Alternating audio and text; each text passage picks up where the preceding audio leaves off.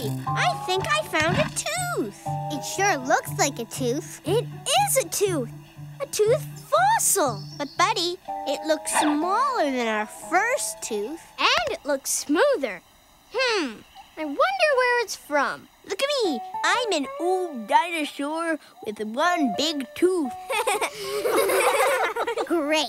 So now we found a fossil of a bone sticking out of the ground and a fossil of a tooth. Two fossils. Woo! Hmm, if we found the tooth over here and that bone over there. Oh, buddy, are you thinking what I'm thinking? Yeah, these fossils could both be part of one big dinosaur fossil.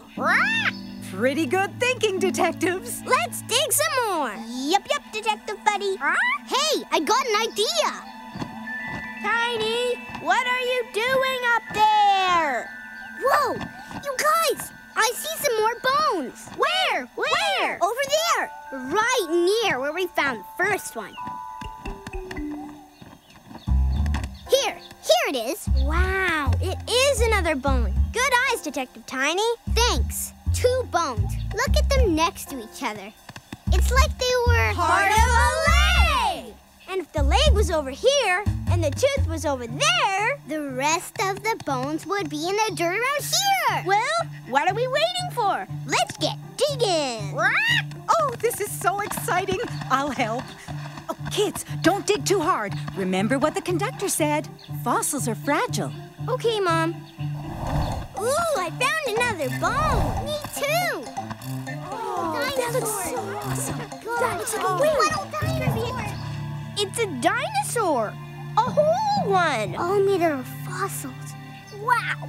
A real live old dinosaur. You mean a real dead old dinosaur? It's amazing. Oh, goodness, look at that skeleton. Almost all the bones in the dinosaur's body. What a spectacular discovery! It looks like this dinosaur had a really, really long mouth. So it probably had a lot of teeth, like the one we found. Where did we put it? I got it. Ooh. There's the dinosaur train. Oh boy! We can show our fossil skeleton to the conductor. Let's hurry down to the station. Mr. Conductor! Mr. Conductor! Mr. the Conductor! Well, if it isn't my three detectives. Any luck with your fossil finding foray? We found a whole dinosaur skeleton! Please come and look at it. You have to come see it. Oh, this is very exciting. I think I'll make a special exception and come take a quick look.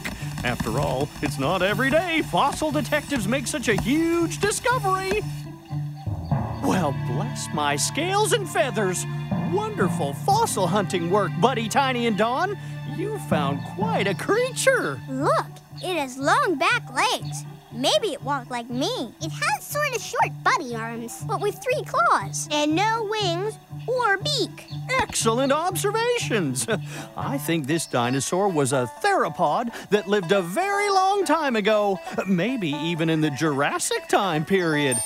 Oh, speaking of time, it's time to get back on the train.